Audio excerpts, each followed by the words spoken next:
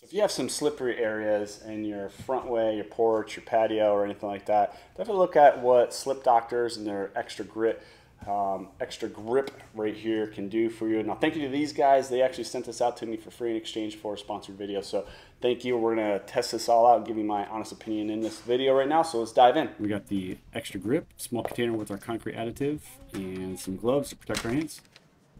All right, so first things first is obviously got to clean the area up nice and kind of sweep it out nice, get all the bugs and grit and dirt and out of there, and then we're gonna clean off a little bit of water, and then we'll be ready to get our sealer, and we'll add the additive, the, the slip doctors to the top of that when we're ready to go. Let's check it out. Now you'll see it says mix 100 grams of extra grip clear additive with one gallon of coating in a separate container.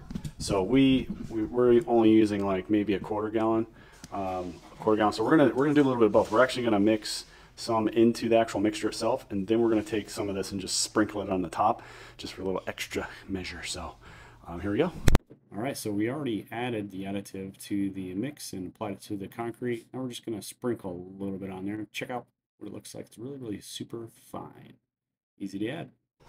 That's that. Pretty easy to install. Just gonna let it dry, do its thing, and uh, that slippery little area right in our front door area that was really, really smooth, it's gonna be more non-slip now. So thanks to uh, Slip Doctors.